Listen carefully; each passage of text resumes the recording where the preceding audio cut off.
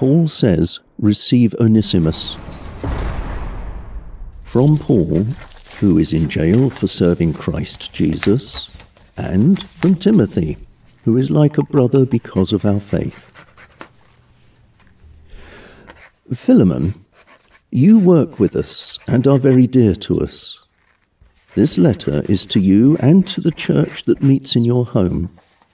It is also to our dear friend Apphia and to Archippus, who serves the Lord as we do. I pray that God our Father and our Lord Jesus Christ will be kind to you and will bless you with peace. Philemon, each time I mention you in my prayers, I thank God. I hear about your faith in our Lord Jesus and about your love for all God's people. As you share your faith with others, I pray they may come to know all the blessings Christ has given us.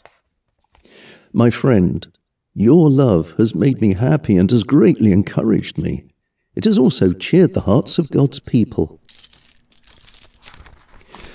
Christ gives me the courage to tell you what to do, uh, but I would rather ask you to do it simply because of love.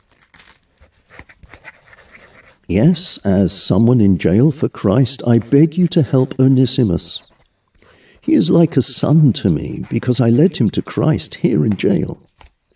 Before this, he was useless to you, but now he is useful both to you and to me. Sending Onesimus back to you makes me very sad. I would like to keep him here with me, where he could take your place in helping me while I'm here in prison preaching the good news. But I won't do anything unless you agree to it first. I want your act of kindness to come from your heart and not be something you feel forced to do. Perhaps Onesimus was taken from you for a little while so that you could have him back for good, but not as a slave.